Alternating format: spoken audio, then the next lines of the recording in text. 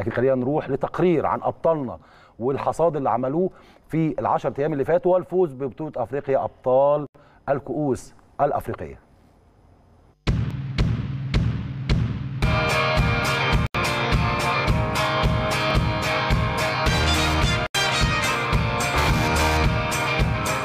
نجح لاعبو الفريق الأول لرجال كرة اليد بالنادي الأهلي في إسعاد جماهير القلعة الحمراء.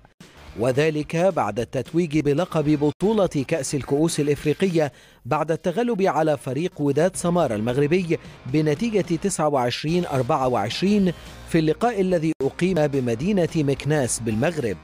وجاء أداء نجوم القلعة الحمراء مميزا خلال مباريات البطولة وتألق أكثر من لاعب حيث استطاع محمد عصام الطيار الزود عن مرماه في العديد من اللقاءات فيما تألق إسلام حسن في صناعة اللعب وتنويعه لزملائه داخل الملعب في العديد من المباريات الهامة. وقدم الفريق عروضا مميزة طوال البطولة وحقق العلامة الكاملة في الدور الأول بالفوز على فريق سوكوتو ريما النيجيري وريد ستار الإيفواري وفاب الكاميروني.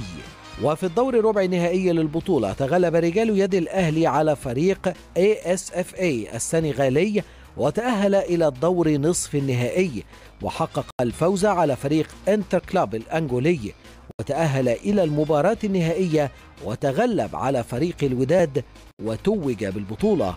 وتأمل جماهير المارد الأحمر في حصد كافة ألقاب الموسم الجديد الفترة المقبلة.